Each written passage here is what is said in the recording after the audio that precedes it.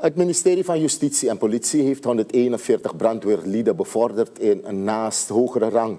Dit gebeurde vandaag 4 mei, de internationale dag van de brandweer.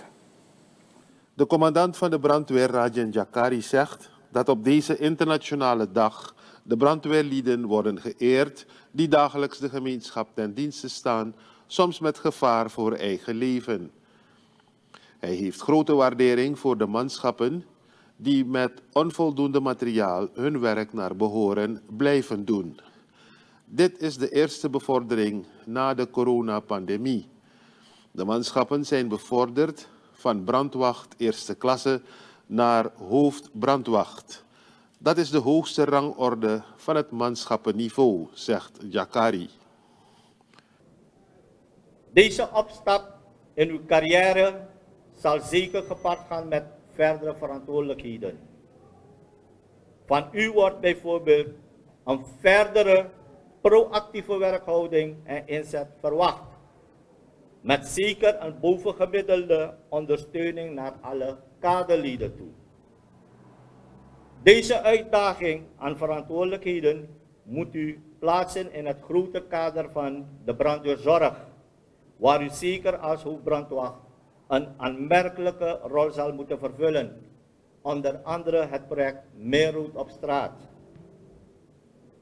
Het brandweerberoep is uitdagend en dynamisch. Tot en met gisteren is de brandweer landelijk vanaf begin van dit jaar al ruim 3000 keer uitgerukt. Hierbij gaat het om meldingen van verschillende aard. Bijen- en reptielenoverlast, technische hulpverlening, verkeersongevallen, waterongevallen, gebouwvuilgras en autobranden. Minister Kenneth Amoksi van Justitie en Politie haalde aan dat het ministerie er alles aan doet om de beleidsvoornemens te realiseren. Hij erkent dat de brandweerorganisatie met veel uitdagingen kampt.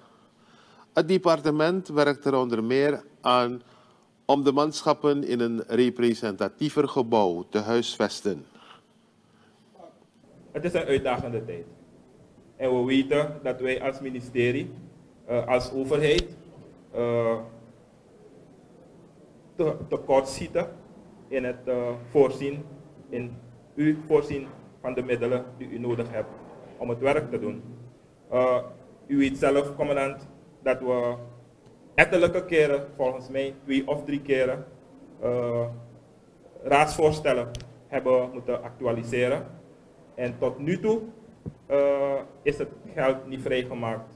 Ik weet dat er nu pending zijn vier blusvoertuigen. Uh, we zijn straks uh, bij de president. we zullen dat ook daar aankaarten.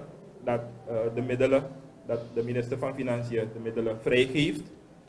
zodat de raadsvoorstellen, dat we ze niet nog een keer, misschien voor de vierde keer, moeten verlengen. De bewindsman zegt dat er hard gewerkt wordt aan de verbetering van de brandweerkazernes.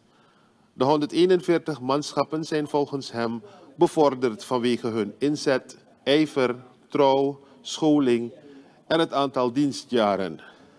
Amoxie hield de bevorderden voor dat ze nu nog meer verantwoordelijkheden zullen krijgen.